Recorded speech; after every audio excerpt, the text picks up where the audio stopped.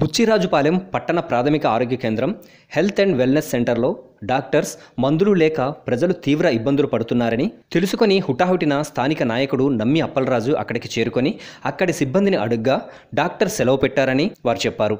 తాత్కాలికంగా డాక్టర్ గారి ప్లేస్లో వేరొక డాక్టర్ని నియమించాలని ఇటువంటి హెల్త్ ఎమర్జెన్సీ టైంలో తగిన సిబ్బంది మందులు లేకపోవటం మంచిది కాదని దీనిపై ప్రభుత్వం సత్వరమే స్పందించి తగిన ఏర్పాట్లు చేయాలని విశాఖపట్నం తొంభై వార్డ్ స్థానిక నాయకుడు నమ్మి అప్పలరాజు కోరారు. Hi friends latest news updates కోసం జనగోళ ఛానల్ని సబ్స్క్రైబ్ చేయండి. ఎప్పటికప్పుడు మేం పోస్ట్ చేసే తాజా సమాచారం కోసం ఇక్కడ కనిపిస్తున్న బెల్ ఐకాన్ని క్లిక్ చేయండి.